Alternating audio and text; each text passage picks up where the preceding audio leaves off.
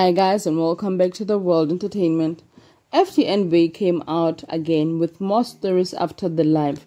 We really hope she isn't lying this time, but I'm finding it hard to believe her again. And the fact that OTF.Lulu passed the lie detector makes it difficult, and she is using a child to fight her battles. This is what she wrote on her Instagram story. My hand was forced, making that live. I had no choice. My son was questioned with David on the phone and my son got scared and denied everything. If I didn't issue an apology, he would have released the audio and manipulated the story even more. And I'm genuinely tired. I was begged into a corner.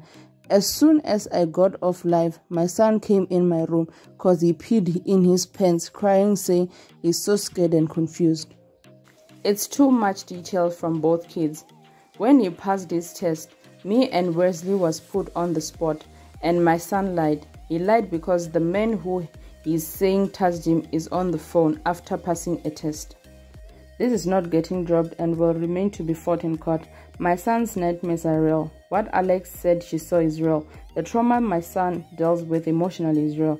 And I still stand with the kid no matter what that nigga do. David was recording my son and I had no clue my son would get scared and take it back. This is a lot to deal with for my family. And i'm extremely sad that i had to come on here and do this because i'm not dropping shit.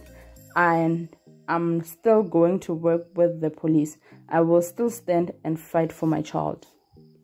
My son lying in the face of the person who's saying touched him is not far-fetched cause that it had happened today.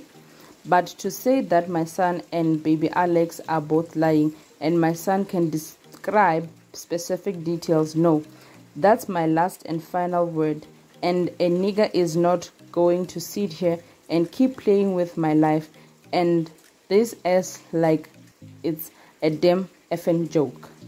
Leave your thoughts below. Until next time, peace.